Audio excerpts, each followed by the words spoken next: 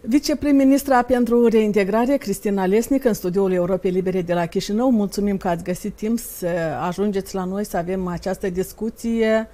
Deocamdată despre situația din zona de securitate se zice că rămâne a fi una tensionată, având în vedere această criză sanitară. A fost poate că și un pretext pentru autoritățile de la Tiraspol să instaleze unilateral aceste posturi de control ca unii spun intenționat să mai obțină ceva din partea Chișinăului. Haideți să vedem cum descrieți dumneavoastră situația pe moment uh, în uh, ceea ce privește dialogul Chișinău-Tiraspol.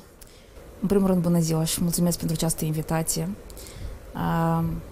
Vă mulțumesc pentru subiectul care cred că este unul important și vom avea posibilitatea să-l discutăm și în detalii. În ceea ce privește zona de securitate, într-adevăr, situația a fost una alarmantă la începutul uh, lunii martie, atunci când deja se înțelegea că noi vom intra într-o situație de criză umanitară pentru că s-a reclamat eforturi suplimentare. Arhitectura securității s-a schimbat și asta trebuie să o recunoaștem, pentru că începând cu mijlocul lunii martie au fost instalate cele 37 de posturi ilegale și am să mențin că nu sunt posturi de carantină, că nu sunt posturi sanitare și vreau să explic acest lucru aici în studio. Deci, după mine și după documentele statutare, acestea sunt posturi ilegale. Ilegale din câteva aspecte. În primul rând au fost stabilite unilateral de către Tiraspol. Au fost stabilite în zona de securitate unde există reguli, documente statutare care prevăd proceduri de mărirea forțelor, de micșorarea forțelor. Trei la mână a fost fără acordul Comisiei Unificate de Control. 4.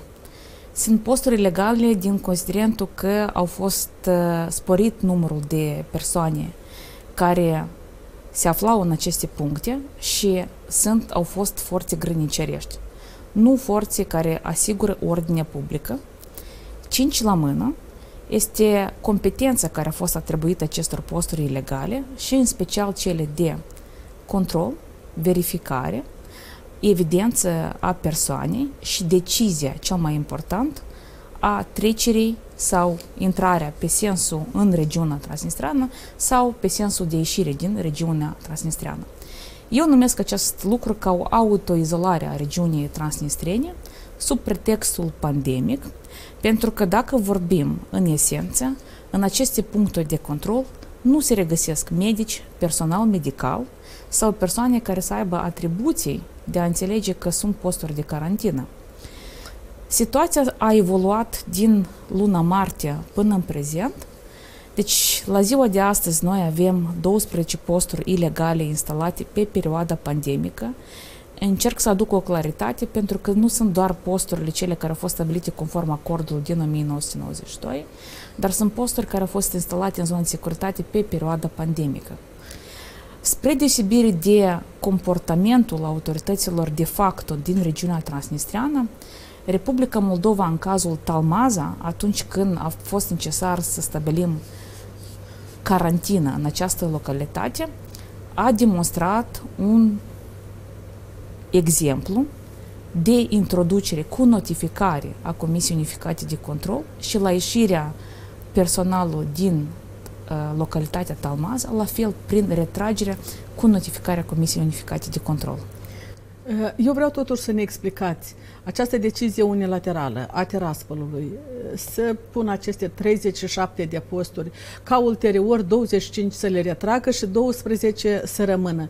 De ce și cum s-a decis ca anume 12 să rămână? De ce nu au putut să fie înlăturate toate odată?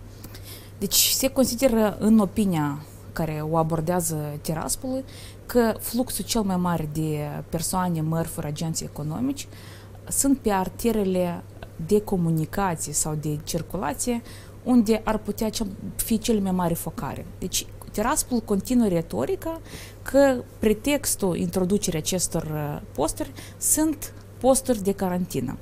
Ori, după noi, aceste posturi puteau fi coordonate în Comisia Unificată de Absolut, Control. pentru că exact. Comisia Unificată de Control este unica entitate unde se iau deciziile. Și credeți-mă pe mine că, așa cum am procedat noi în cazul Talmaza, putea fi discutat și în Comisia Unificată de Control.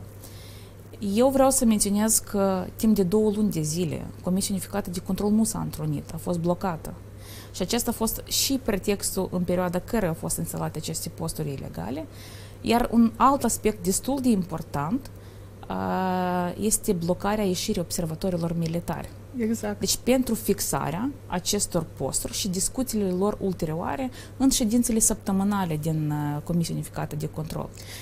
Cât timp ați putea să mai discutați și despre retragerea celor 12 posturi rămase? Noi mereu vom discuta aceste posturi, pentru că, până la urmă, este un drept al nostru de a discuta. Dacă e, nu se poate discuta la nivelul Comisiei Unificate de Control, voi încerca să găsesc orice modalitate, diplomatică, politică, mediatică, pentru a atrage atenție că noi avem o problemă.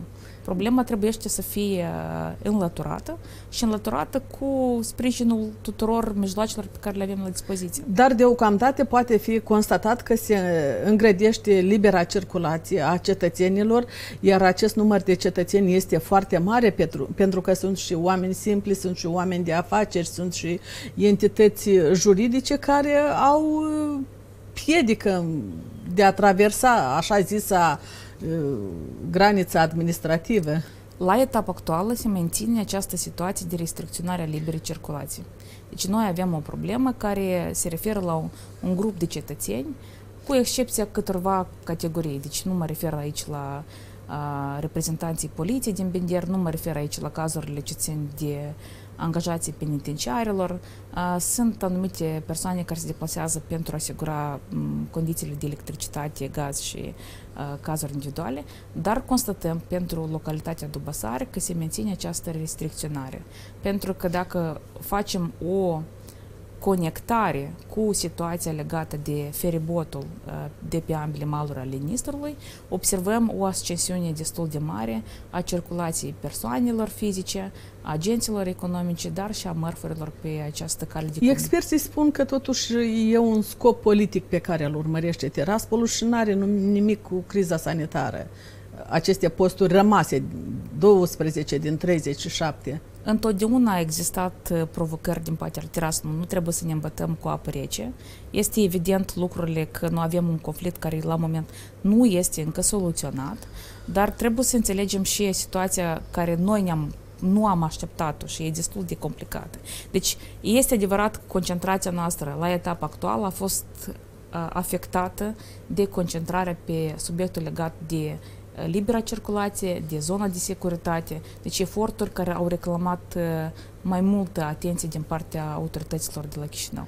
Doamna Lesnic, dialogul Chișinău-Tiraspol astăzi se mai bazează pe politica pașilor mici. Până unde s-a ajuns cu această politică și ce evoluții la ce evoluții ne putem aștepta promovând această politică a pașilor mici? Pentru că la pasul mare e greu de spus că se va ajunge de curând. Eu întotdeauna am fost și mențin abordarea că noi nu putem discuta coș după coș. Noi trebuie să discutăm în paralel subiectele care sunt importante pentru cetățeni.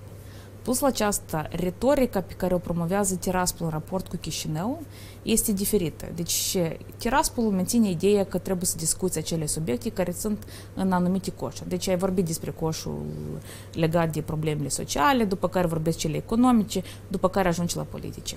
Eu vreau să aducem aici o claritate. În toate conferințele ministeriale care au loc la sfârșitul anului OSCE, nu există o astfel de condiționalitate. Este expres și menținut această poziție, că se discută toate subiectele de pe toate coșurile. Deci, la fac... coșul politic nu s-a ajuns. Cel puțin asta spun experții că nu s-a deschis coșul politic. Deci aceasta este adevărat, dar nu împiedică să discutăm subiectele care țin și de coșul, ultimul coș, coșul 3, da? așa cum este. Deci eu nu am o abordare de a numi aceste coșuri 1, 2, 3. Deci nu este prevăzut un astfel de mecanism. Sunt anumite priorități care sunt setate în fiecare dintre coși și ele trebuie discutate în paralel. Lucru pe care noi încercăm să îl discutăm în mod aprins este legat de drepturile omului. Și atunci când Eu am înaintat și am insistat să avem un 5 plus 2 în luna aprilie pe subiectul legat de dreptul de la sănătate, s-a referit exact la subiectul legat de drepturile omului. Deci, în etapa actuală, dacă vorbim de pași mici sau politica pașilor mici, noi vorbim, ne referim la acele priorități din pachetul Berlin Plus. Da? Lucrurile care eu am menționat și în repetate rânduri, că nu este suficient să ajungi la un rezultat astăzi. Este important să asiguri sustenabilitatea acestui rezultat. În momentul în care noi am avut o discuție și am ajuns la un numitor comun, că deblocăm situații legate de școlile românești, că am ajuns la un subiect legat de circulația oficialilor în regiunea transnistreană, asta presupune că trebuie să aibă o sustenabilitate. Deci acesta este un subiect care nu l-ai atins și zici astăzi că e e terminat, că nu mai avem nevoie să mai discutăm acest subiect. Este important dinamica și sustenabilitatea pe tot parcursul uh, perioadei în care să ne convingem sau să ne reconvingem că soluția respectivă este sustenabilă. Dar de ce se creează această impresie, cel puțin pe care o acreditează cunoscătorii dosarului transnistrian, că prin acel pachet uh, Berlin Plus, uh, Tiraspolul a urmărit alte scopuri și le-a atins, iar Chișinăul ar fi făcut mai multe cedări în, în favoarea regimului uh, secesionist? Eu aș spune că cu această criză sanitar-umanitară legată de COVID-19, arhitectura s-a schimbat. Deci vom observa cât de intens a fost propaganda și mesajele împotriva Chișinăului, care sunt uh, false. Deci niciodată Chișinăul nu a fost împotriva cetățenilor proprii, cetățenii Republicii Moldova care locuiesc în regiunea transnistreană, dar mesajele care erau promovate în regiunea transnistreană demonstrau că Chișinăul era uh, fie că dezinteresat, ceea ce de fapt nu este o realitate. Haideți să ne... Chiar și mai mult, autoritățile de la Tiraspol, așa zis și lideri de acolo, s-au adresat și Organizației Națiunilor Unite, spunând că puterea centrală, puterea de la Chișinău, autoritățile statului sunt neputincioase să aplaneze criza sanitară. Lucru vădit fals. Pentru că, haideți să ne amintim cazul care s-a întâmplat cu protestul de la Râbnița Rezina. Deci cele au fost decizii și proteste nu împotriva deciziilor Chișinăulor, dar au fost proteste împotriva libertății de exprimare care au fost restricționate și deciziilor luate de către Tiraspol în raport cu locuitorii din regiune. Deci acelea nu au fost dezacordurile în raport cu Chișinău. Chișinăul nu a restricționat niciodată Uh, liberă circulație din regiunea transnistreană către alte localități din uh, Republica Moldova. Chișinăul a avut o abordare echitabilă față de toți cetățenii care au fost repatriați în Republica Moldova pe parcursul uh, pandemiei, indiferent unde este domiciliată această persoană. La fel, Chișinăul niciodată nu a restricționat accesul la serviciile medicale sau la medicamente compensate. Toate persoanele care aveau polițe de asigurare medicală din regiunea transnistreană și care erau arondați de punct de vedere medical pe partea dreaptă a Nistrului, niciodată nu au avut restricții din partea noastră. Deci abordarea Chișinăului pe perioada pandemică a fost egală față de toți cetățenii Republicii Moldova. Câți cetățeni din stânga Nistrului au cetățenii Republicii Moldova? La momentul actual, conform datelor ASP, sunt în jur de uh, 350 de persoane. 350 de mii de persoane ar avea pașaport uh, moldovenesc, uh, acte Deci de... sunt cetățenii Republicii Moldova, documentați oficial la Agenția Servicii Publice și aproximativ avem 18.000 de persoane care sunt asigurate medical cu polițiile uh, de stat ale Republicii Moldova. Uh, revenim la deciziile mm, pachetului Berlin Plus și haideți să vedem totuși, s-au făcut cedări din partea Chișinăului sau nu? În primul rând, plăcuțele de înmatriculare. Astăzi mai dau bătăi de cap? Plăcuțele de matriculare, noi avem uh, o statistică care, bine, demonstrează că pe principiu benevol, persoanele își pot, dacă domiciliază în regiunea transnistreană, se pot adresa la cele două puncte, Râbnița sau Tiraspol, unde sunt uh, angajați agenți, uh, reprezentanții Agenției Servicii Publice pentru a-și rematricula. Uh, doi la mână, vreau să vă menționez că conducătorul, posesorul sau persoana care are acte de comodat poate fi identificat la mijlocul de transport care se deplasează în regiunea transnistrană sau în Chișinău. De ce menționez acest avantaj? Pentru că toată lumea cunoaște că cei care conduc astăzi mijloacele de transport cu plăcuțe transnistrene, din păcate, nu pot fi identificați în cazul unui accident rutier dacă nu rămân la fața locului. Plus aceasta, în sistemele videomonitorizare, aceste persoane, din păcate, nu fiind depistate la o încălcare, nu pot fi depistate și fi aplicate să achite amenziile. Deci noi avem o situație în care acest mijloc de a le oferi rematricularea în Râbnița și Tiraspol reprezintă o soluție pentru cetățenii care locuiesc acolo și pentru a se deplasa sau beneficia de liberă circulație. Problema telecomunicațiilor, până unde s-a ajuns cu rezolvarea ei? Este un subiect foarte complex. Noi, cred că deja de 2 ani de zile avem discuții, negocieri, cred că peste 45 de ședințe. Există foarte multe pretenții din partea Tiraspolului. Condițiile Chișinău sunt foarte clare. Deci, orice persoană care dorește să devină operator trebuie să respecte legislația Republicii Moldova. Eu mă refer și la capitolul legat de notificare, și la capitolul legat de drepturi și obligații, inclusiv și la legislație ce ține de securitatea statului și protecția datelor cu caracter personal. Deci, operatorul de telefonie trebuie să corespundă cadrul legal al Republicii Moldova.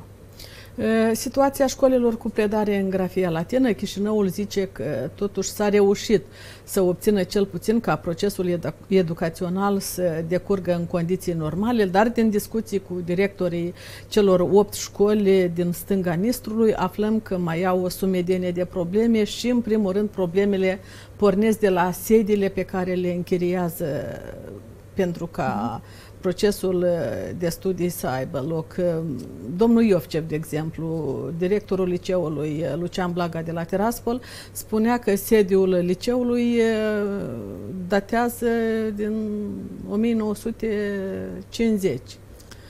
Doamna Valentina, eu întotdeauna am fost adeptul că educația trebuie să fie exclusă din contextul politic.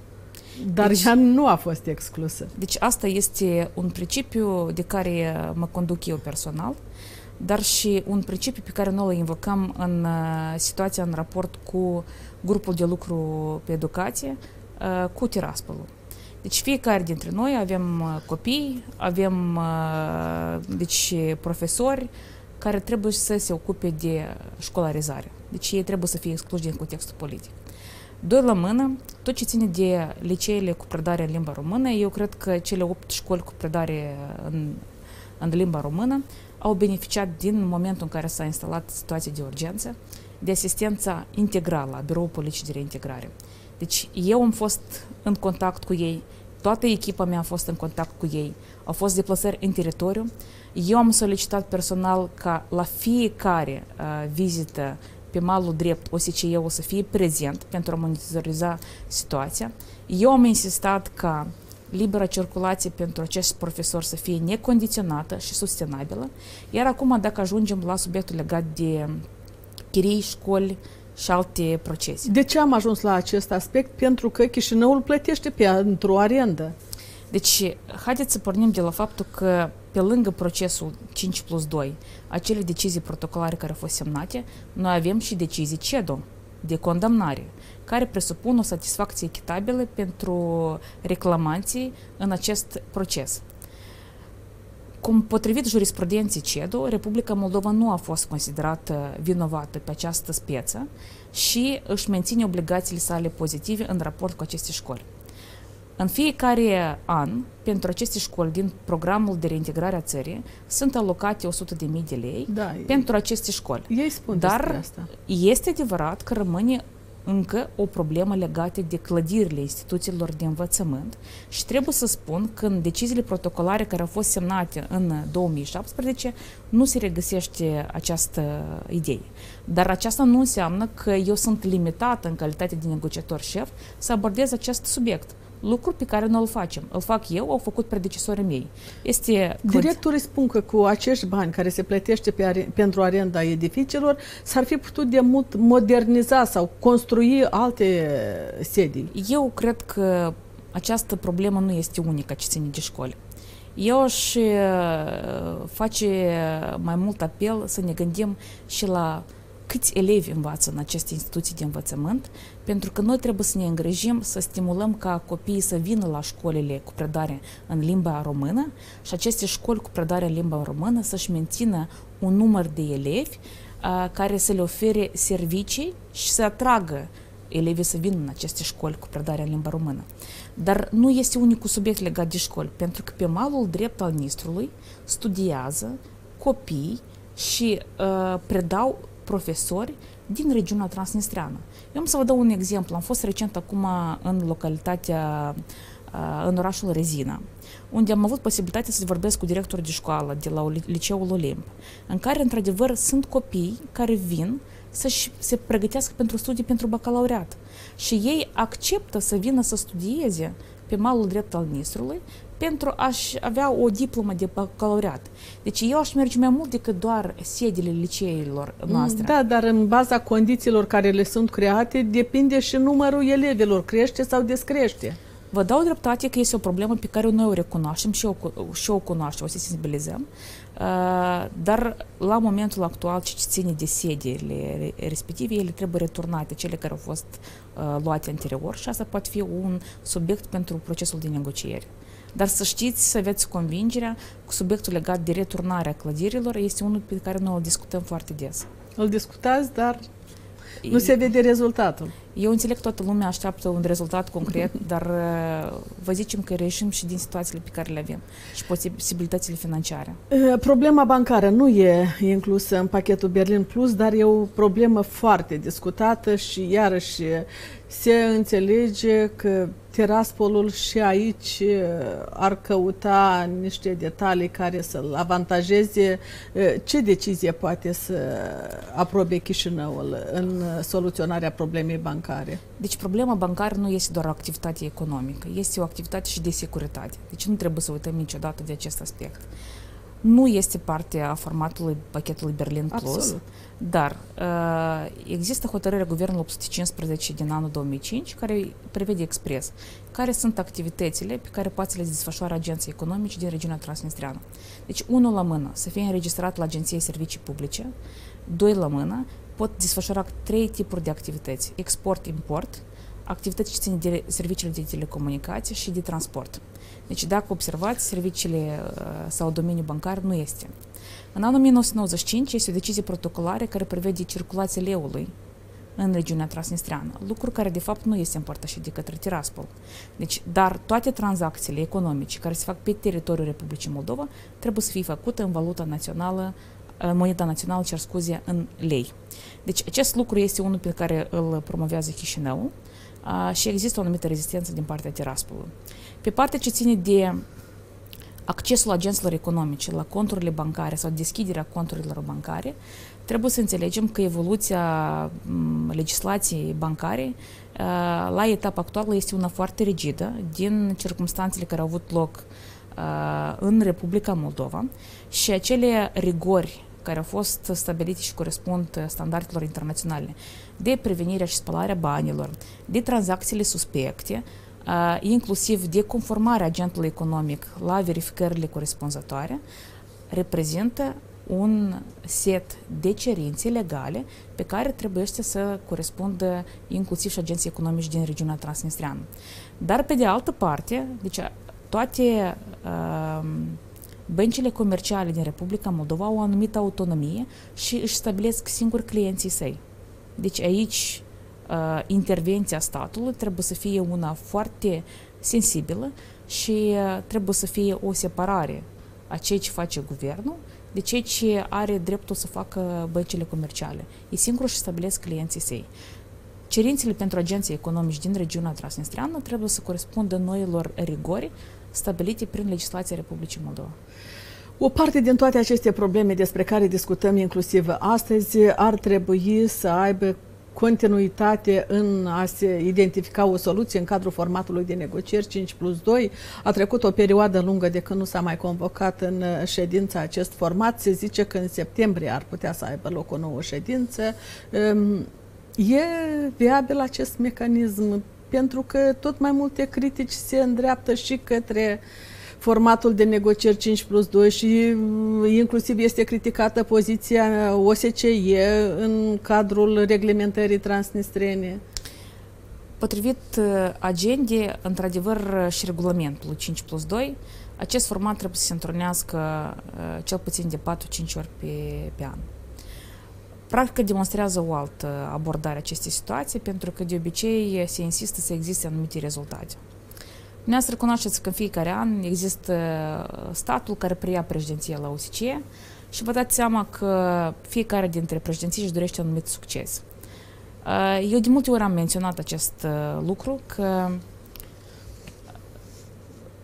lucrurile trebuie să se perindeze în funcție de ceea ce își dorește statul care dorește să-și reglementeze conflictul.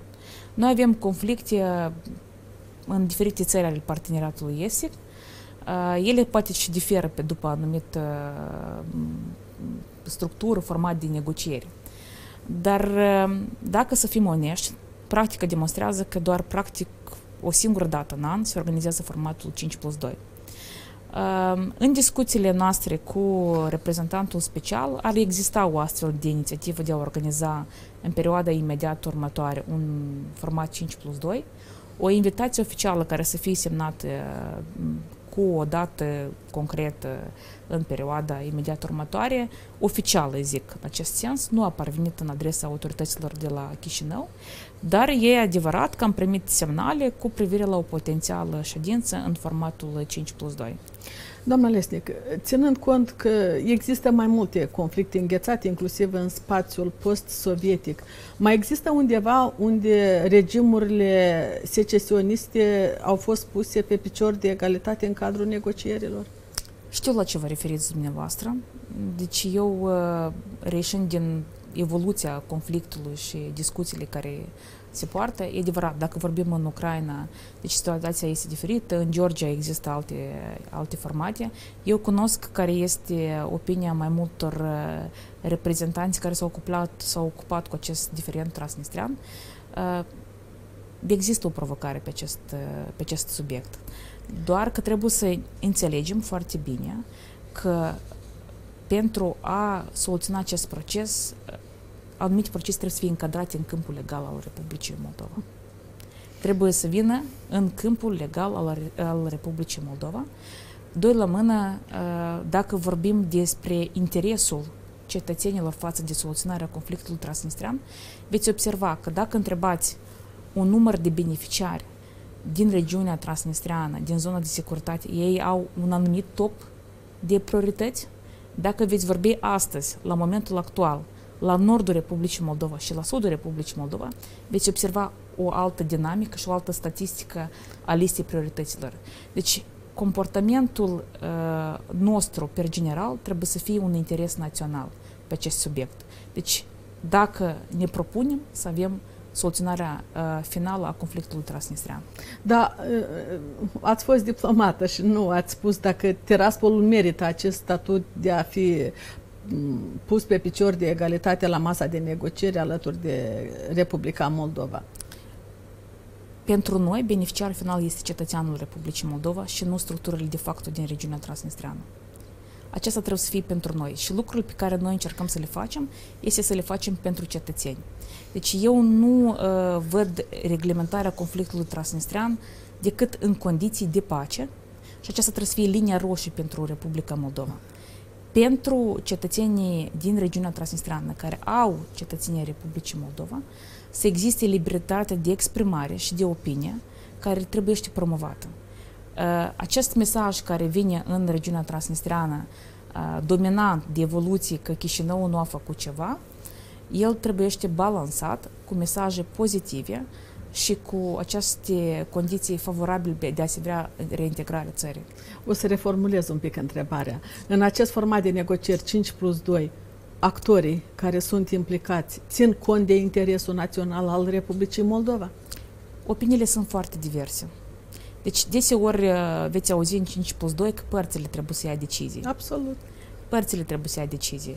Uh, e adevărat că noi facem uz de ceea ce este acum cel mai important pentru noi, dar uh, observăm, eu, eu am încercat să spun acum, din, dacă la începutul lunii ianuarie a fost o anumită agendă de priorități, astăzi, după situația, criza sanitară, tot ce s-a schimbat după perioada pandemică, practic a dat peste cap toată agenda și au ieșit, uh, s-au evidențiat alte priorități, mult mai importante de, dintre ele. Dar cea mai mare, dacă vorbim ca dimensiune uh, sau ca structură factologică, este vorba despre drepturile omului. Ca de exemplu, accesul uh, jurnaliștilor în regiunea transnistreană pentru a comunica corect despre situația și intențiile Chișinăului. Vreau să vă zic că accesul este foarte greu. Da. Eu știu. Doi la mână. Este vorba despre accesul ombudsmanului în regiunea transnistreană pentru a înțelege care sunt situația pentru cazuri individuale, pentru cetățenii care își încearcă să-și revendice drepturile sale. Aici noi vorbim și inclusiv despre protecția juridică a drepturilor omului. Deci este o dimensiune cu privire la accesul la serviciile medicale și alegerea serviciilor medicale de către cetățeanul Republicii Moldova. Deci lucruri care, de fapt, s-au evidențiat, s-au conturat într-un mediu mult mai accentuat. Da, apropo, până la urmă, politicienii din Republica Moldova pot să ajungă și în regiunea transnistreană. Deci la etapa actuală... Nestingerit. Deci la etapa actuală, cu pandemia care s-a stabilit, pot să vă zic că nici noi, noi cei care suntem obligați să, să mergem încolo pentru discuții, negocieri, s-a schimbat climatul. Facem un format de videoconferințe. Nu am fost în regiunea transnistreană.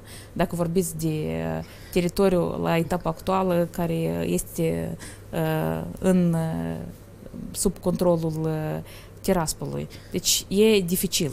E dificil. Și dacă veți observa, ei au indicat data de 30 septembrie pentru da. autoizolarea da, regiunii trans, autoizolarea regiunii. Iar pe de altă parte, dacă ținem cont că de la 1 septembrie va demara campania electorală pentru alegerile prezidențiale din 1 noiembrie, ar trebui cei care vor să ajungă în fruntea Republicii Moldova să aibă acces uh, la alegătorii din stânga Nistrului, pentru că și ei vor fi invitați să participe la aceste alegeri. Uh, este adevărat că cei care întrunesc condițiile de a fi alegător uh, și de a-și exprima votul respectiv vor trebui să aibă acces pentru, pentru alegerile care vor avea loc.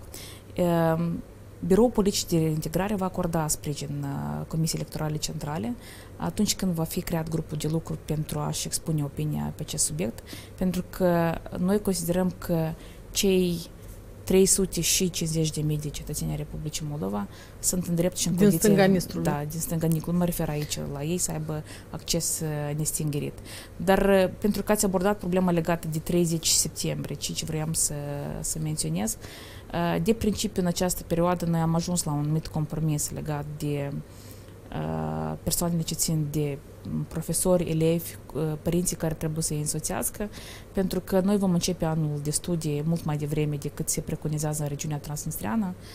Mulți dintre ei vor, vor avea nevoie să aibă un medic nu doar pe 0 întreg și 25, știți cum la școală da. s-a stabilit, dar pe o normă de plină în instituțiile de învățământ și atunci libertatea de mișcare nu poate fi restricționată. Dar eu vă întrebam dacă acei concurenți electorali care se vor înscrie în cursa prezidențială vor avea acces să meargă în localitățile din stânga Nistrului să discute cu alegătorii. Când vom avea tablou uh, general deja clar, deci, în funcție de situația care va exista la, la momentul actual, vom încerca să propunem anumite soluții.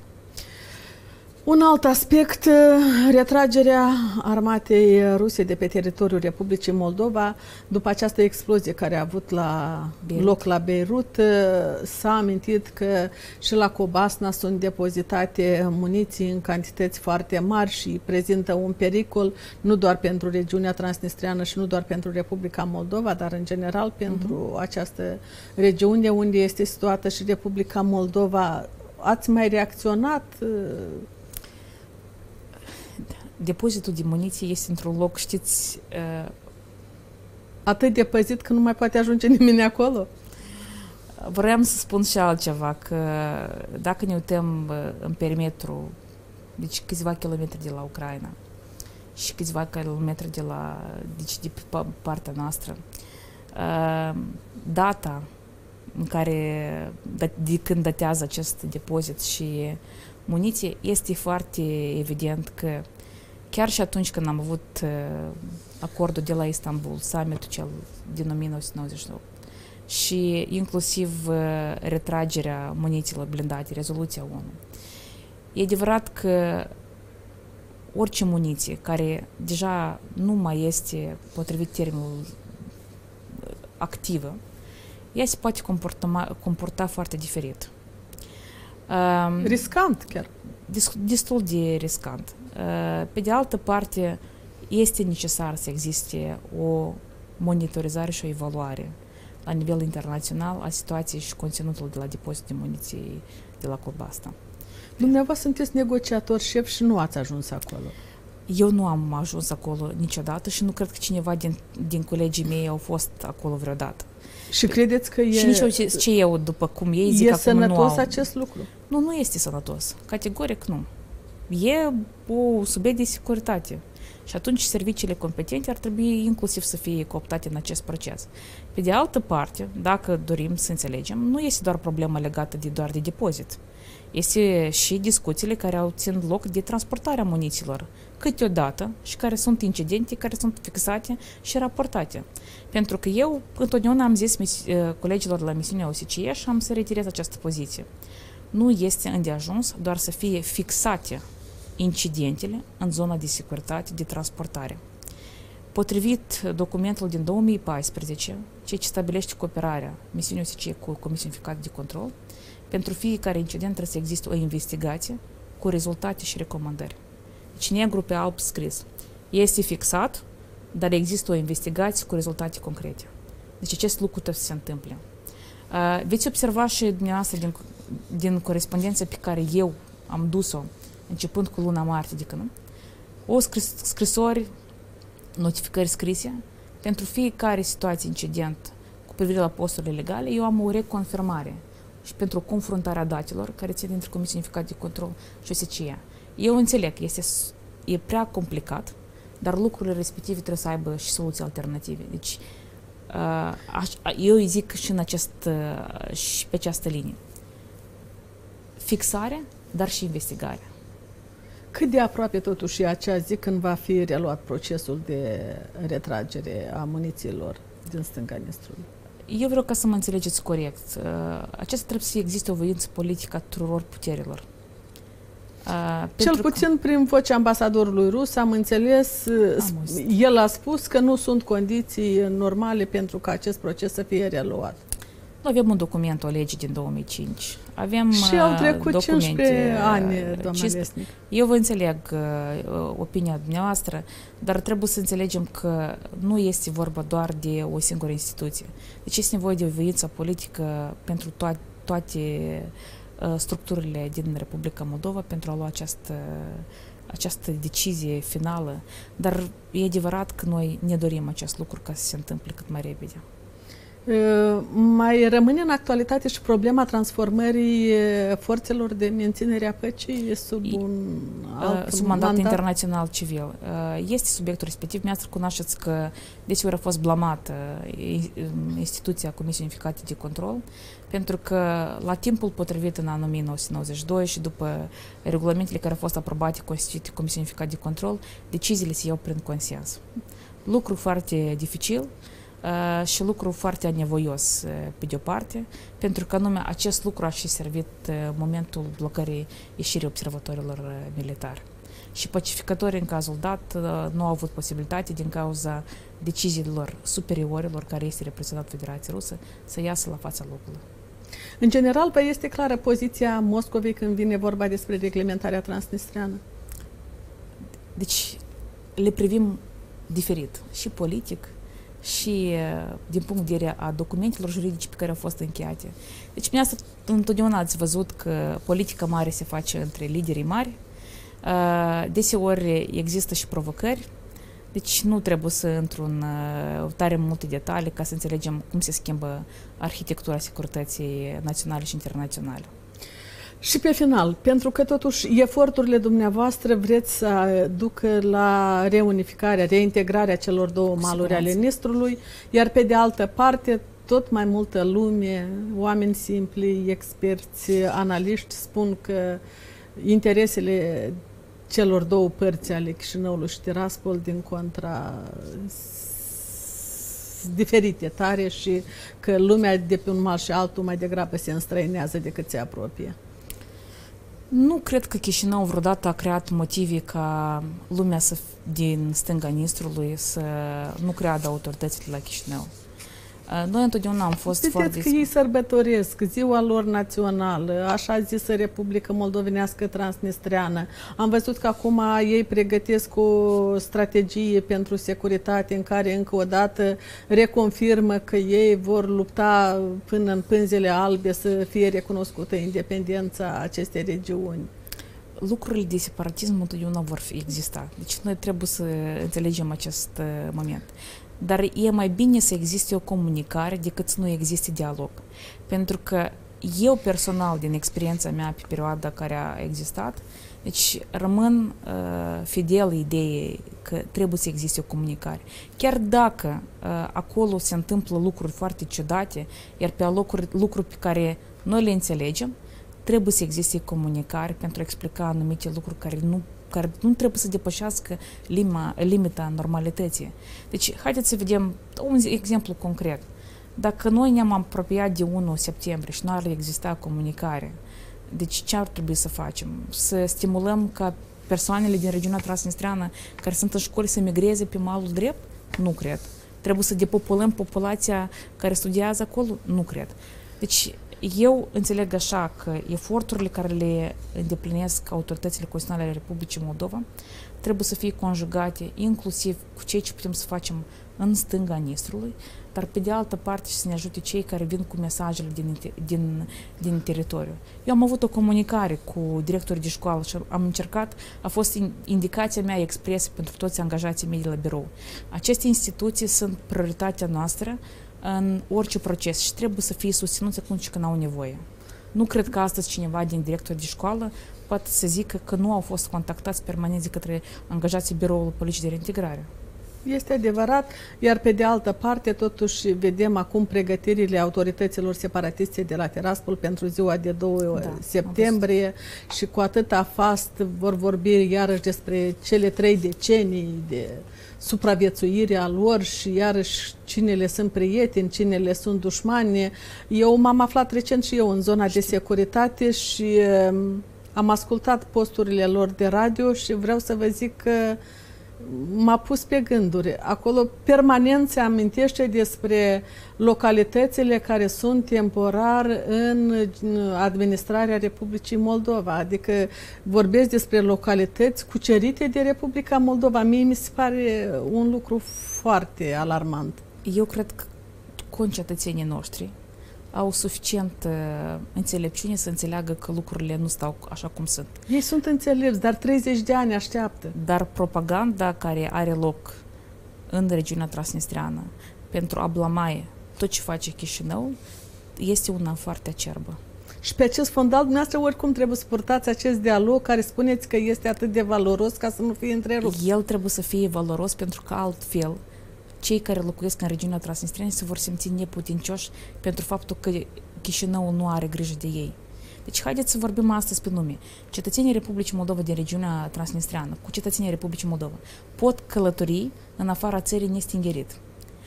Au acces la toate serviciile pe care le oferă, le oferă Chișinău. Dacă există vreun mesaj care să spună că lucrurile respective nu sunt interesante pentru cetățeni, nu prea cred. Nu prea cred. Omul crede în serviciile pe care le oferă Chișinău. Dar e adevărat că noi nu trăim într-un context care astăzi nu poate fi luat în calcul. Propaganda mediatică, uh, blamarea uh, Chișinăului, uh, lucruri care deodată sunt vădit false, de exemplu, precum a fost menționat că Chișinăul nu are repatriat cetățenii Republicii Moldova sau cu privire la faptul că cineva își arogă competențe de repatriere în regiunea transnistreană. Lucru vădit false false din stat și care sunt niște minciuni uh, impuse cetățenilor pentru a crede. Uh, cu partea, trans, cu partea ucraineană discutați? Da. Care e poziția Ucrainei? Pot să vă zic uh, dumneavoastră că sunt în așteptarea colegului meu, omologul meu, Reznikov, uh, în vizită la Chișinău foarte curând. Și ne deschideți parantezele sau așteptăm Cred să că aibă va fi loc un motiv pentru o altă întrevedere? emisiune, dar uh, am avut o discuție, eu și în mandatul precedent am avut o comunicare foarte bună cu partea ucraineană și sunt în așteptare să l-am pe colegul meu, Reznikov, la Chișinău. Mulțumim pentru această discuție și vă mai așteptăm și cu alte ocazii. Mulțumesc frumos, domnul Valentina.